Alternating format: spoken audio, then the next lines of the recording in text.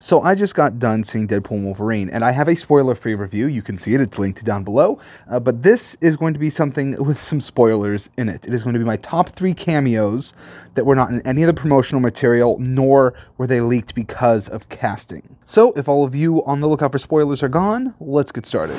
So the first one we have to talk about is Wesley Snipes as Blade. Oh my gosh, the theater erupted no one saw that coming. If that casting choice had been leaked, I didn't see it.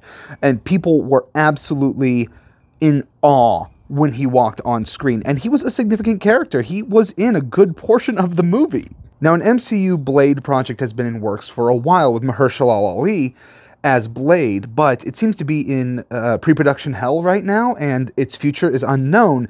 But there was something that might have been a little hint as to Blade's future in the MCU. Wesley Snipes' Blade says, There's only been one Blade, and there's only ever gonna be one Blade. And then that wasn't just a passing comment, because Deadpool then turned to the camera and, and gave us one of these. Like a, that might be a hint that he might be coming back as Blade in the MCU, and I would love that. He crushed those movies. I love all three, even the one that Ryan Reynolds was in, which is Blade Trinity and considered the worst one. I think they're all just pure 90s and early 2000s superhero goodness and so rewatchable and so fun. And I would love to see Wesley Snipes return as the character because he was just so perfect, so tough, so stern, yet he has this sense of humor that is so unexpected from his performance. The next one is Channing Tatum as Gambit. Now, this is a nod not to a previous Fox property or Marvel film.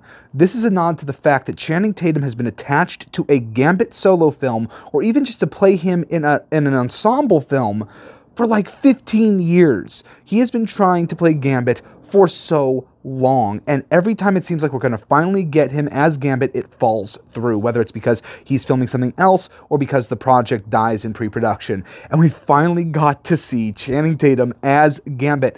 And to be honest, his suit was awesome, his fight choreography was awesome, his powers looked awesome. The only thing that was terrible was giving him that thick Louisiana accent. I don't know if it was intentionally awful or if Channing Tatum just couldn't pull it off. I think because there were so many jokes at how awful it sounded that it was intentionally not great and it was meant to be funny.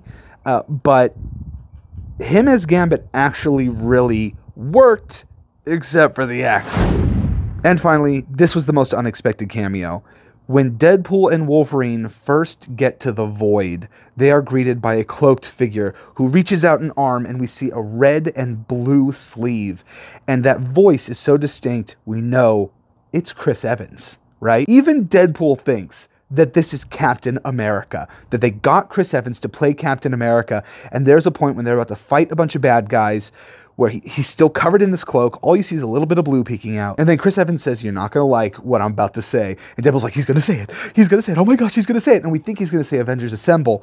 But then he says, Flame on. And then the cloak burns away and reveals a fantastic four suit.